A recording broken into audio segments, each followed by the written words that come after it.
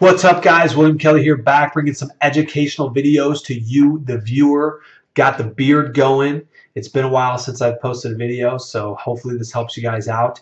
And uh, if you like what you see, smash the like button, leave a comment, and we'll see you guys next time. Enjoy the video. Okay guys, so uh, first thing you're going to want to do is pull up a new window. And before I start this video, I am a real estate investor. And for me I wanted to instead of go out and purchase a software that had a number or going out through AT&T and buying a new phone number or vice versa I wanted something that I was able to use for free and that's very reliable. And I found Google Voice to be extremely professional as long as it's set up properly which initially my setup was not proper. When people would call my Google Voice number, it would actually tell them that it was a Google Voice number and to tell them to state their name, which I didn't want. That's very unprofessional. And the other biggest obstacle that I ran into was I had my Google Voice number forwarded to my personal cell phone number and I could not differentiate what was a personal call or what was a business call. And I figured out how to do it and I'm going to share that information with you guys today. So hopefully this helps. So stay along with me. Um, if I'm going too fast, go back, rewind the video, and um, hopefully you guys benefit from this. So let's start. And first thing you want to do is pull up a new window and go to Google Voice. And so we'll go to the first one. I am actually already logged in here. So it automatically pulls up my Google Voice number. If you guys are not logged in through Google, it will actually prompt you for your credentials to log in with your email and password. But I'm already logged in.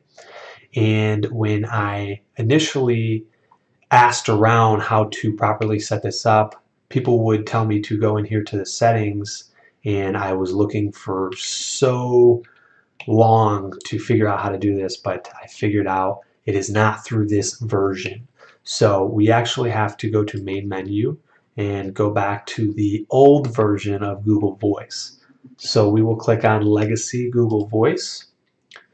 And from here, if you get this notification, just X out on it. And we want to go to our Settings tab and here is, it should show your Google Voice number right here. I do not have it forwarding to my phone calls. I'm doing this to show you guys how to initially set it up properly. So I'm going to add a phone number and this is your Google Voice. We're going to come down and to linked numbers and click on the plus sign with the new linked number. Type in your phone number or whatever number you want the Google Voice number to ring. And it will send you a code through text message. And it's very quickly. Um, so the code already came in for me. And you just want to type in the code that you get from your text message and click verify. Now the phone has been added. Click finish. And what we want to do is click X and we want to go back to our legacy version. Now, once we have done that, again, click out on this notification or click no thanks, I guess. Uh, settings. Now you can see that we have added our phone number that we want our Google Voice number to ring when we receive a phone call. So now that this is all set up, we want to go to calls and you want to turn call screening off. What this will do if it is on, once you get a lead or you have a client that calls you, it will say, this is a Google Voice number, please state your name so we can connect you with the other end user. We don't want that. We want, when somebody calls our Google Voice number, we want it to ring as if it was a true professional cell phone number. So we want to make sure this thing is off. Now, caller ID incoming. What this will do I have it set up to display my Google Voice number. This is absolutely important because this differentiates a business call between a personal call when my phone rings. Now I know the difference. Before I had no idea who was calling, if it was my family member or a cousin that I haven't saved their number from or a friend. Now I know that this number is work because it'll actually call my caller ID number, which is this. So it's gonna when I get a phone call, it's actually just gonna show this for for right now, which is good because I know every call that comes in is is either work or personal. So we want to make sure that shows the display my Google Voice number.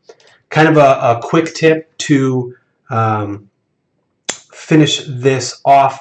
So now that we have our phone set up to where when the Google Voice number calls, it will actually show that your Google Voice number.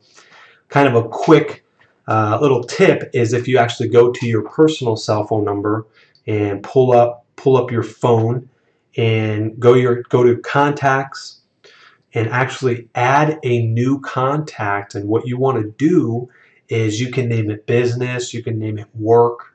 I named it motivated seller because I market to off market real estate deals. So when I have an incoming call I know that it's a motivated seller. So I actually named it motivated seller and then I added the phone number which was just my Google Voice number. And so we type that in. And every time my phone rings, it will now say, my, my Google Voice number rings, it will now say motivated seller so I know that it's work purposes. Um, so hopefully this video helped you guys out in your business, whether you're starting a business, entrepreneurship, whatever you're doing in your realm. Hopefully this video helps you guys out. And um, if if it did, smash the like button, leave a comment, and we'll see you guys next time.